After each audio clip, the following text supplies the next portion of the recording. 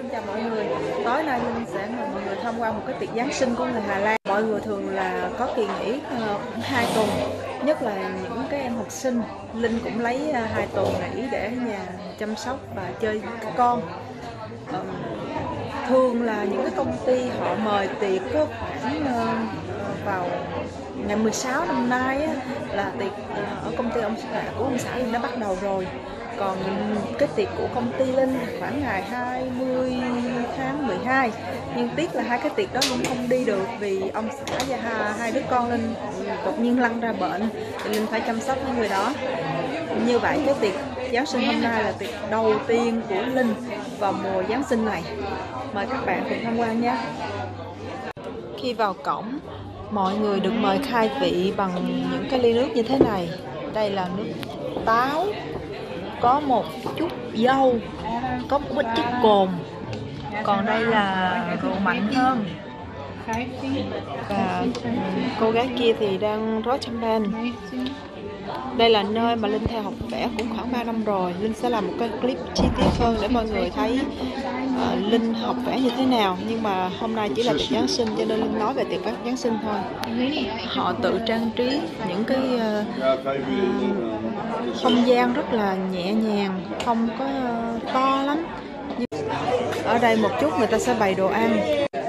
Ở bên này uh, là trang trí tiệc rất là đơn giản. Uh, họ mặc đồ. cũng uh, đơn giản như vậy. Thì giống như là bạn đi ăn tối bình thường ở Việt Nam mình thôi ít khi nào họ mặc những cái ờ, váy dài ờ, rực rỡ sẵn nổi gì hết nhưng cái điều đó cũng là điều linh thích cũng là điều linh tiếc một chút là vì mặc áo đồng mà giày cao gót. Nhưng mà qua được một thời gian thì những áo tầm dài. Đó thì dần dần bỏ hết và cũng chưa bao giờ mua lại nữa. Hiện giờ là chỉ mặc những cái đồ rất là bình bình thường. Nghĩa là cái cái đồ đó có thể mặc đi làm cũng được. Hoặc là đi tiệc thì mình chỉ ờ, làm cho nó như là để mong hoặc là mấy up hoặc đưa cho cái mẹ cũng khác thôi. Chứ không có ờ, quá cách xa để ờ, đi tiệc và đi làm. Bên đây họ có thể mặc đồ ờ, đi làm đi tiệc cũng được hồi nãy linh nói sai rồi linh tưởng là chỗ ấy là, nơi để thức ăn giống như năm ngoái. Nhưng mà không phải năm nay họ để thức ăn ở đây. Đây là tiệc buffet linh đang tò mò không biết họ nấu những món ăn gì đây. Thường á người hà lan thích ăn chay họ không ăn nhiều đặc biệt là cái group của những người ở ở nơi này. Ô, nhìn hấp dẫn quá ta. Mình phải ờ, tránh ông chú này và cũng cố gắng tránh mặt những người khác. Đây là nơi mà người ta có thể ờ, thỏa trí thể hiện cái um, năng khiếu nghệ thuật của mình. Cho nên uh, họ trang trí vừa nghệ thuật nhưng mà nghệ thuật hiện đại chứ không phải là nghệ thuật cổ điển. Có những cái mình nhìn rất là đơn giản nhưng mà trong mắt của họ là nghệ thuật đó. Ờ, có gà nè. Có thịt viên. Có nóng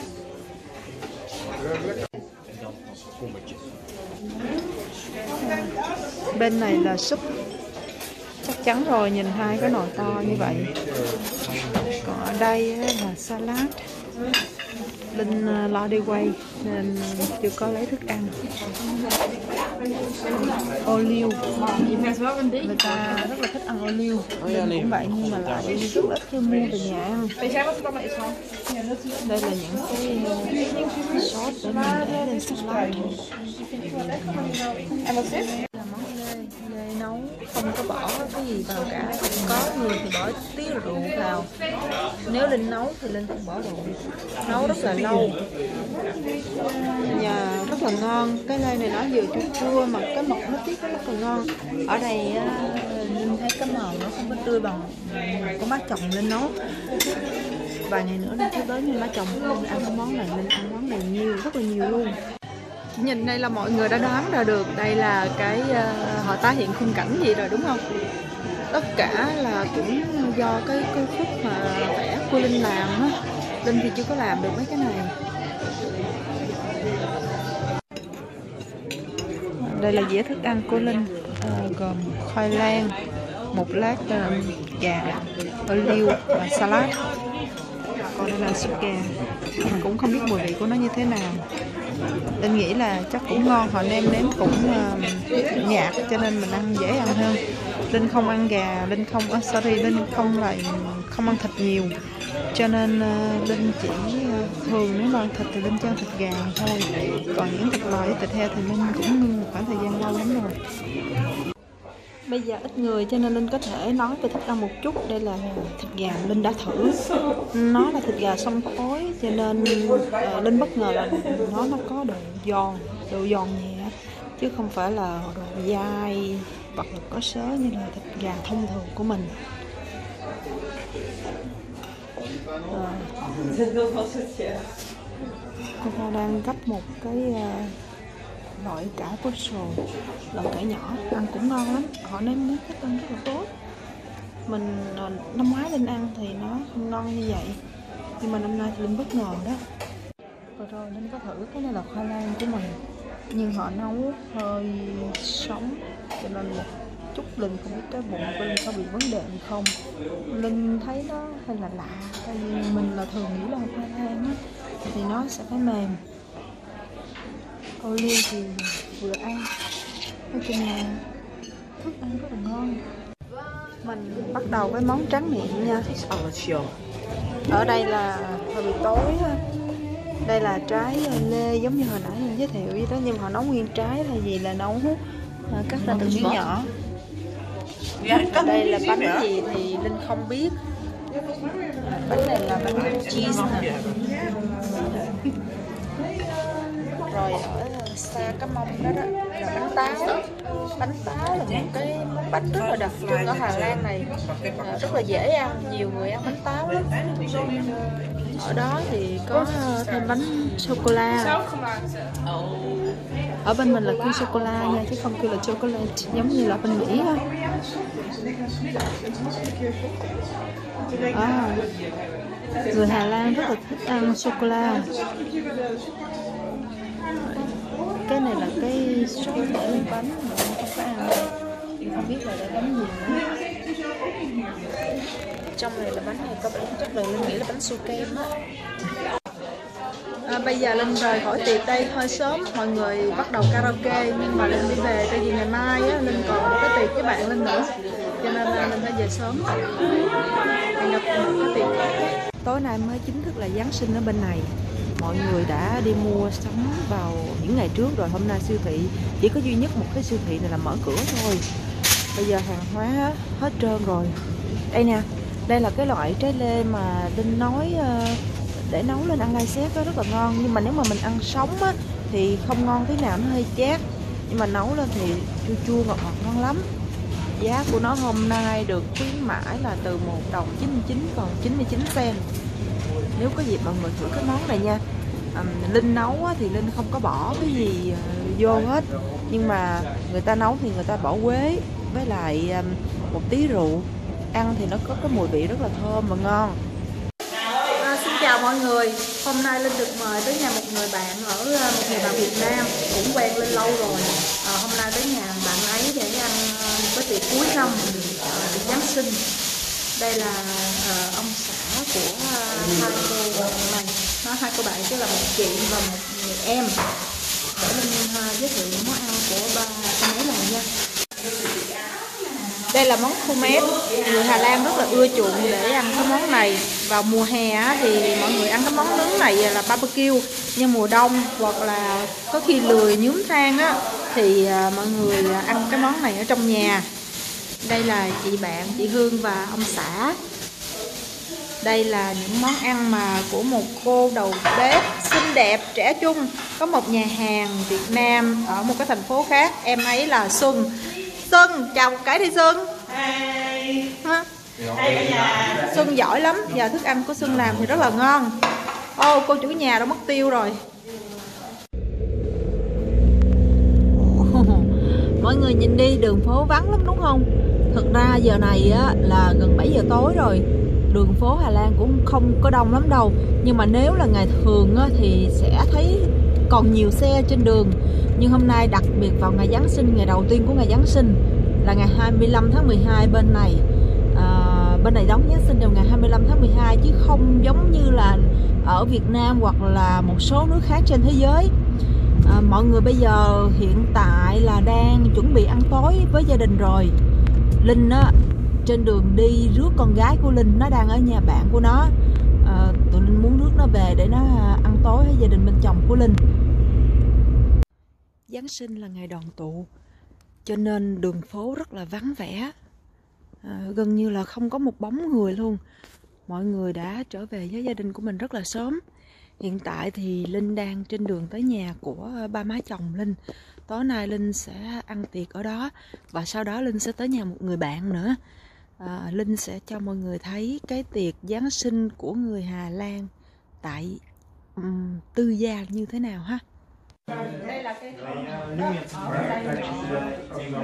họ mua cái không thật giống như là mình với lại cây uh, hoa đào tết gì đó. Uh, ba má chồng lên mua cây này hơi trễ khoảng một tuần trước đây thôi cho nên mua cái cây cao như vậy có 10 euro. Còn linh mua cái cây nhỏ hơn ở nhà linh mua cái cây khoảng tới đây. Linh linh mua ngày 28 tháng 11 á. Là mình trả ở số lúc 28 tháng 11 thì linh trả khoảng uh, 25 5 euro thì nhỏ thì nó đẹp bằng. năm sau tức là linh sẽ mua trả đây là tiệc khai vị. À, mọi người sẽ uống một tí rượu à, có bánh mì ăn với à, những cái loại à, sao trét lên. Còn đây là cá hồi có cuộn xúc xích. À, không phải lên nói vậy rồi. Cá hồi có cuộn phô mai. Đây là những loại à, để trét lên bánh mì một ít xúc xích để cho mấy đứa con của Linh ăn. Thật ra ừ, từ đó đến giờ Linh chưa bao giờ ăn một cái tiệc Giáng sinh ở nhà một người Hà Lan nào khác hết tại vì tiệc Giáng sinh là ngày đoàn tụ cho nên uh, mọi người không có mời người lạ vào nhà của mình. Nên nhà ai nấy ở và thức ăn ai nấy ăn vào đêm Giáng sinh.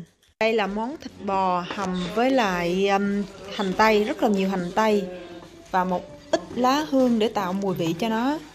Linh nghĩ ờ, ăn rất là ngon miệng đó nhưng mà Linh không ăn thịt cho nên Linh sẽ không thử cái món này.